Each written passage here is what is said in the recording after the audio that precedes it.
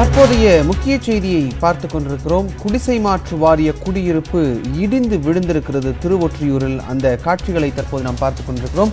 திருவொற்றியூர் குடிசை மாற்று வாரிய கட்டிடத்தில் இருபத்து நான்கு வீடுகள் இடிந்து விழுந்திருக்கின்றன.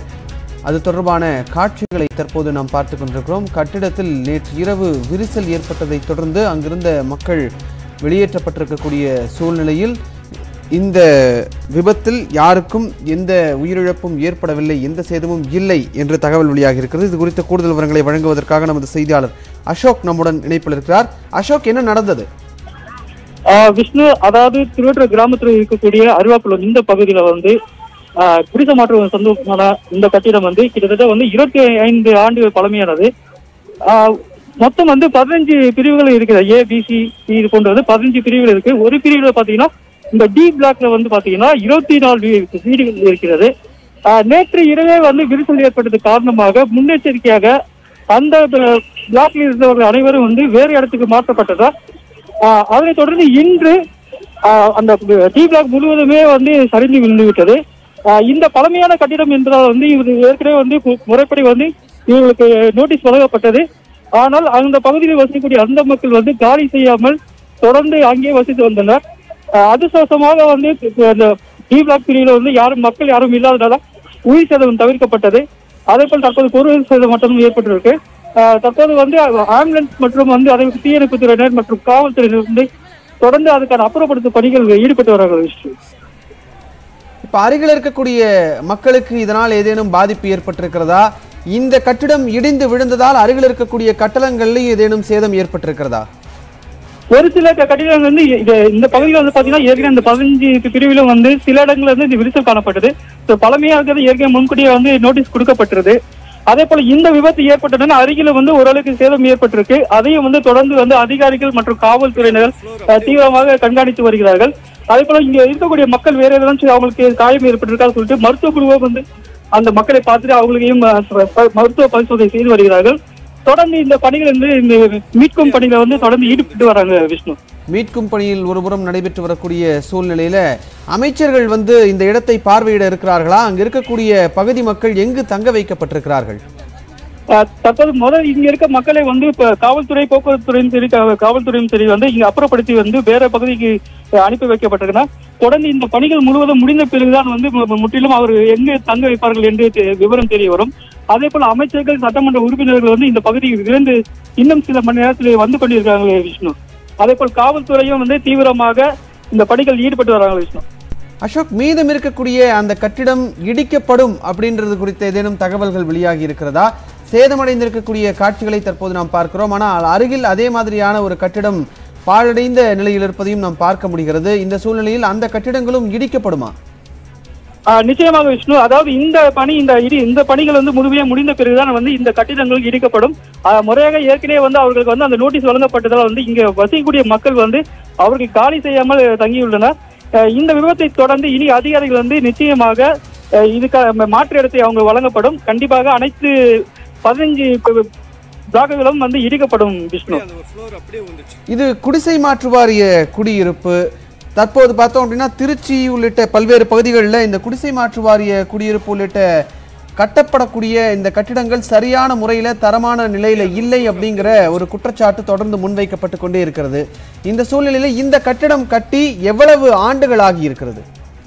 ஆஹ் இந்த கட்டிடம் வந்து குறைஞ்சது இருபத்தி ஐந்து வருடம் பழமையான கட்டிடம் இது. ஏற்கனவே இது போன்ற பிரச்சனைகள் தற்போது நிலவில் இருந்த இந்த நிலையில வந்து இந்த கட்டிடம் பழமையான இதே போன்று வந்து பல பகுதிகளில் இருந்து குடியிருப்புகள் இது போன்ற பிரச்சனைகள் மக்கள் சந்தித்து வருகிறார்கள்.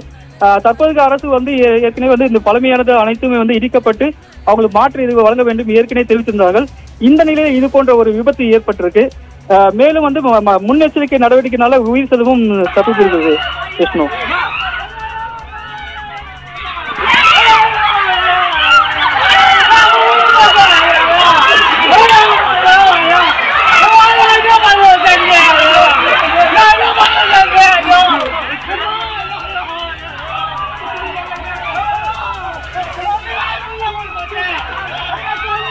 அசோக் ஏற்கனவே இவங்க வெளியேறணும் அப்படின்னு நோட்டீஸ் வழங்கப்பட்ட சூழ்நிலையில் அவர்கள் வெளியேறாததற்கான காரணம் அவர்களுக்கு தேவையான அந்த அடிப்படை வசதிகள் அல்லது முகாம் மாதிரியான இடங்கள் ஏற்படுத்தி கொடுக்கப்படவில்லை அப்படிங்கிறது தானா நிச்சயமா அப்படின்னு சொல்லலாம் விஷ்ணு. அதாவது ஏற்கனவே வந்து இப்ப முறையா இது போன்ற கட்டிடங்களில் வசிக்கு வரும் மக்கள் வந்து அவருக்கு முறைப்படி வந்து நோட்டீஸ் அரசாங்கம் வழங்கினாலும் வந்து ம- த- குடிசை மாற்று வழங்கினாலும் அவர்கள் வந்து அந்த நேரத்தில் அவர்களுக்கு காலி செய்ய மாட்டேங்கிறார்கள் காரணம் வந்து அவங்களுக்கு மாற்று இடம் சில பேர் பிரச்சனை இருக்குது வாழ்வாதாரம் பாதிக்கும். அதே எங்களுக்கு மாற்று இடம் ஏதாச்சும் அருகில் எங்களுக்கு ஏற்படுத்தி கொடுங்கள். இது போன்ற பிரச்சனையும் இருக்கிறது. ஆஹ் சில பேருக்கு வந்து இது வீடு வாடகை அது கிடைக்கிறதுன்னு பிரச்சனை இருக்கு. அதனால வந்து விரைந்து அவங்களுக்கு வழங்கணும்னு சொல்லிட்டு இது போன்ற சில காலத்தாமதனால இது போன்ற விளைவுகள் ஏற்படுகிறது விஷ்ணு. அசோக் தற்போது இந்த மக்கள் எல்லாம் எங்க தங்க வைக்கப்பட்டிருக்கிறார்கள்? தற்போது வந்து மக்கள் வந்து ஏற்கனவே அவங்க உறவினர் வீடு வீடு அதே போல வந்து நண்பர்கள் வீடு இது போன்ற இடங்கள்ல தங்க வைக்கப்பட்டிருக்கு. சில பேர் வந்து அந்த வ- வெளி அந்த வளாகத்திலே வந்து சில பேர் வந்து இரவு நேரம் என்பதால் வந்து ஒருங்கி கொண்டு இருக்கிறார்கள் இது போன்ற விபத்து ஏற்படும் போது அனைத்து பொருட்களும் வீட்டு உள்ளே இருப்பதால் வந்து பெரும்பாலும் வந்து குழந்தைகள் மட்டுமே வந்து உறவினர் வீட்டுக்கு தங்க வைக்கப்பட்டது பெரியவர்கள் அனைவரும் வந்து அந்த தொடர்ந்து இந்த வீட்டை வந்து கண்காணித்து இருந்த நிலையில தற்போது இது போன்ற ஒரு சம்பவம் ஏற்பட்டிருக்கு விஷ்ணு. அசோக் இது எவ்வளவு மாடி கட்டிடம்? இதில் இருக்கக்கூடிய குடும்பங்கள் எவ்வளவு குடும்பங்கள் இதில் இருக்காங்க? இதுல வந்து பாத்தீங்கன்னா விஷயம் இரு- இருபத்தி நாலு குடியிருப்பு இருக்கு. அதாவது ஒரு ஒரு பிரிவுல வந்து இருபத்தி நாலு அதே போல வந்து ம- மூன்று அடுக்கு மாடி அது மேலே மேல் தளத்தை கணக்கில் சேர்க்காமல் மூன்று அடுக்கு என்று சொல்லலாம். பொதுவாக வந்து ஒவ்வொரு இங்க இருக்க பெரும்பாலும் வந்து கூலி தொழில் சேர்ந்தவர்கள் மீனவ சமூகத்தை சேர்ந்தவர்கள் இது தான் வசித்து வருகிறார்கள். ஏற்கனவே வந்து அரசாங்கம் வந்து இந்த மீனவ மக்களுக்காக இது ஒதுக்கப்பட்டதான் இந்த அறிவாக்குளம் குடியிருப்பு விஷ்ணு அதே போல வந்து இந்த பகுதி முழுவதுமே இது போன்ற பிரச்சனை பல கு- குடியிருப்புல வந்து விரிசல் ஏற்பட்டிருக்கு. மேலும் இன்னும் குறிப்பாக என்ன இது என்றால் இது வந்து ஆஹ் குளம் சார்ந்த இடம் இது. ஏற்கனவே வந்து இதற்கு இந்த குடியிருப்பு கட்டுவதற்கு முன்பு வந்து இந்த பகுதி வந்து ஆஹ் குளம் ஏரியா விஷ்ணு அசோக் இப்போ இந்த பகுதிகளில் இருக்கக்கூடிய அனைத்து வீடுகளும் அதாவது குடிசை மாற்று வாரியத்தின் மூலமாக கட்டி கொடுத்த கொடுக்கப்பட்ட வீடுகள் வேறு ஏதேனும் இருக்கிறதா? அவற்றினுடைய தரம் எப்படி இருக்கிறது அப்படிங்கிறது குறித்த ஆய்வுகள் மேற்கொள்ளப்படுமா? ஆஹ் பழமையானது சொல்லப்படும் என்றால் இந்த பகுதி தண்டை அதே போல் தண்டாப்பேட்டிலும் அதே மாதிரி பழமையான கட்டிடங்களும் இருக்கிறது. இது திருவற்றூர் இது அதே போல வந்து சுனாமி குடியிருப்பிலும் ஏற்கனவே வந்து ஒரு கடந்த ஒரு பத்து பன்னெண்டு வருடம் முன்னாடி இதே போன்ற ஒரு பிரச்சனை அங்கு நிலவியது. தற்போது வந்து இருக்கின்ற ஆஹ் குடிசை மாட்டு வரை வந்து அனைத்துமே வந்து புதுப்பித்து சில இது வந்து எங்கெங்க சரி செய்யப்படும் அந்த பணிகளும் தொடர்ந்து ஈடுபட்டு வராங்க. சில பழமையான இந்த குடியிருப்புகளை வந்து முற்றுவதும் முற்றுமும் இடித்து விட்டது. புதிதாக கட்டினால் மட்டுமே இதுக்கு ஒரு தீர்வு காண முடியும். நம்ம தொடர்ந்து பேசலாம் அசோக். இந்த நிலையில் அமைச்சர் திரு தாமு அன்பரசன் அவர்கள் தற்போது நம்மோட இணைப்பில் இருக்கார் வணக்கம் சார். இணைப்பில் வந்தமைக்கு நன்றி. இந்த கட்டிடம் இடிந்து விடும் அளவிற்கு செல்வதற்கான காரணம் என்ன? அந்த பகுதியில் இருக்கக்கூடிய மக்களுக்கு தங்குவதற்கான மாற்று ஏற்பாடு செய்து கொடுக்கப்படுமா? ஆமாங்க இப்ப நம்ம இப்ப கடந்த ஆட்சியில வந்து சென்னையில கிட்டத்தட்ட இப்ப இருபத்தி மூணாயிரம் வீடு மக்கள் வாழ்வதற்கு தகுதி இல்லாத வீடுகள் என்று இப்ப நான் கணக்கெடுத்திருக்கோம். நம்ம ஆட்சி வந்ததுக்கு கடந்த ஆட்சியாளர்கள் இந்த வீடுகள்லாம் இடிச்சிட்டு புதுசா வீடு கட்டி எண்ணங்கள் இல்லாத அப்படியே விட்டுட்டு போயிட்டாங்க. பயனாளிகளே இல்லாத பல மாவட்டங்களில வீடு கட்டி பாழடிச்சிட்டாங்களே தவிர இந்த சென்னையில இருக்கிற அந்த வீடுகளை இடிச்சிட்டு கட்டுற எண்ணம் அவங்களுக்கு வரல. இதை நம்முடைய மாண்பு முதல்வரது கவனத்துக்கு கொண்டு சென்றதுக்கு பிறகு இந்த நிதியாண்டு நம்மளோட இந்த அரை நூற்றாண்டு நிதியாண்டுல இந்த அந்த இந்த ஆறு மாசத்துல மட்டும் ஏழாயிரத்தி ஐநூறு வீடு இடிச்சிட்டு கட்டணும்ட்டு ரெண்டாயிரத்தி ஐநூறு கோடி ரூபாய் நிதி ஒதுக்கி தந்திருக்கிறார் நம்முடைய முதல்வர் அவர்கள். இப்ப அது நம்ம வந்து அது ஒரு குழு போட்டிருக்கிறோம். தரக்கட்டுப்பாடு குழு. அவங்களாம் ஆய்வு பண்ணி இந்தந்த கட்டணம் இடிக்கணுன்ற மாதிரி ரிப்போர்ட் கொடுத்துருக்காங்க இப்ப அதெல்லாம் இப்ப அந்த பக்கத்துல இருக்கிற ஜனங்கள்லாம் நாங்க ஒரு ரெண்டு மாசத்துக்குள்ள நீங்க காலி பண்ணி வீட்டுக்கு அந்த இடத்த கொடுத்தீங்கன்னா நான் இடிச்சிட்டு புதுசா வீடு கட்டிடுறோம் கட்டி தருவோன்ற மாதிரி சொல்லியிருக்கிறோம். இப்ப அந்த பணிகளில் அரசு வேகமாக ஈடுபட்டு கொண்டிருக்கிறது என்பதை நான் தெரிவித்துக்கிறேன் இப்போ இவர்களுக்கு மாற்று இடம் கொடுக்கப்படுவதற்கான வாய்ப்புகள் எந்த அளவுக்கு இருக்கு? இந்த இடி இடிக்கப்பட்டிருக்க இடிந்து விழுந்திருக்கக்கூடிய இந்த கட்டிடம் மீண்டும் கட்டித்தரப்படும் அரசின் மூலமாகவே கட்டித்தரப்படும்னு உறுதியளிக்கிறீங்களா?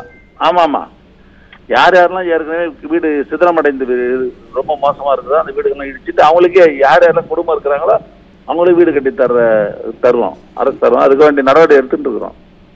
இப்போ இந்த அந்த வீட்டுல இருக்கிறவங்க காலி பண்றதுக்கு ஏற்கனவே போன ஆட்சியில் எட்டாயிரம் ரூபாய் கொடுத்தாங்க. வாடகை மாதிரி. இப்ப நாங்க இருபத்தி நாலாயிரம் ரூபாய் நம்முடைய முதல்வர் உயர்த்தி இருக்கிறார் அந்த பணத்தை நாங்க கொடுத்துட்டோமா அவங்க காலி பண்ணி ஒரு மூணு மாசத்துக்குள்ள காலி பண்ணி கொடுத்துட்டாங்கன்னா அந்த வீடுங்கெல்லாம் உடனே ஒரு ஒன்றரை வருஷத்துல ஒரு வருஷத்துக்குள்ள கட்டி அவங்களுக்கே கொடுத்துருவோம். இப்போ ஏற்கனவே இந்த வீடு இடிந்து விழக்கூடிய நிலையில தான் இருந்தது அப்படிங்கிற சூழ்நிலையில வாழ்வாதாரம் கருதி தான் மக்கள் வேறு இடங்களுக்கு போக முடியாத சூழ்நிலை இருக்கிறதா ஒரு விஷயம் முன்வைக்கப்படுகிறது. இப்போ அவங்க வேற இடங்கள்ல சென்று தங்குவதற்கான உதவிகளையும் தமிழக அரசு செய்யுமா சார்? ஆமா ஆமா ஆமா ஆமா. என்ன மாதிரியான உதவிகள் தமிழக. அரசின் மூலமாக அவர்கள் எதிர்பார்க்கலாம்? தங்கிக்கிறதுக்கு நாளைக்கு தங்கிக்கிறதுக்கு பணம் கொடுத்தாங்க இருபத்தி நாலாயிரம் கொடுக்குறேன் நான். அவங்க காலி பண்ணி கொடுத்தாங்கன்னா உடனே கட்டுறதுக்கு வேண்டிய ஏற்பாடு பண்ணிடுறோம். இப்போ இந்த இடத்துல இருபத்தி நான்கு குடியிருப்புகள் இருப்பதாக சொல்லப்பட்டிருக்கிறது. ஆமா ஆமா இந்த இருபத்தி நான்கு குடியிருப்புகளையும் கட்டி கொடுப்பது அப்படிங்கிறது ஒரு புறம். அருகில் இருக்கக்கூடிய அந்த இதுவே க- மொத்தம் அந்த ஏரியாவே அது மொத்தம் ஒரு நாலு இது இருக்குங்க அது நாலுத்தையும் உடச்சு முன்னூத்தி நாற்பது வீடு என்ன இருக்கு? இப்போ தமிழகத்துல பல்வேறு இடங்கள்ல இந்த குடிசை மாற்று வாரிய குடியிருப்பு அப்படிங்கிறது தரமற்ற முறையில் இருக்கிறத நம்ம தொடர்ந்து பார்த்து கொண்டே இருக்கிறோம். தமிழகம் முழுவதும் இருக்கக்கூடிய குடிசை மாற்று வாரியங்களினுடைய நிலை எப்படி இருக்குன்னு ஒரு குழு அமைத்து சென்னையில இப்ப தமிழ்நாட்டுல மத்த இடத்துல கிடையாது. சென்னையில மட்டும் இருபத்தி மூணாயிரம் வீடு இது மாதிரி இருக்கு. இப்ப அந்த இருபத்தி மூணாயிரம் வீடு படிப்படியா ஒரு ரெண்டு மூணு வருஷத்துல உடச்சு கட்டி புதுசா க- கட்டி கொடுத்துட போறோம். அதுக்கு வேண்டிய ஏற்பாடு நடக்குது. இல்ல ஏற்கனவே இருக்கக்கூடிய வீடுகளினுடைய நிலை எப்படி இருக்கிறதுன்னு பாக்குறதுக்கான நடவடிக்கைகள் என்ன எடுக்கப்பட்டிருக்கு சார்? ஆமா ஏற்கனவே ஒரு கமிட்டி போட்டு குழு போட்டு தர கட்டுப்பாடு குழு போட்டு இப்ப ஆய்வு பண்ணி எல்லாத்தையும் ரிப்போர்ட் கொடுத்துட்டு இருக்காங்க.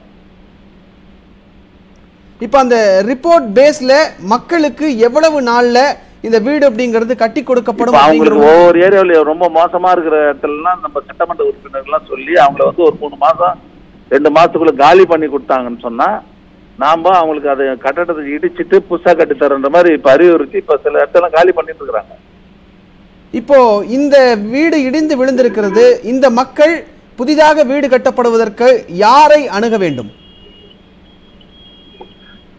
புரியல எனக்கு. நீங்க யார எங்களை தான் அணுகணும். இல்ல, இல்ல. பண்ண போறோம். அவங்க அணுகவே தேவையில்லை.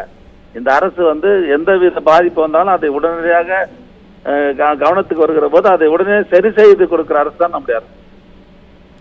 நன்றி நன்றி அமைச்சர். இணைப்பில் வந்து உங்களுடைய கருத்துக்களை பகிர்ந்து கொண்டமைக்காக. தொடர்ந்து இணைந்திருங்கள் நியூஸ் எயிட்டின் தமிழ்நாடு.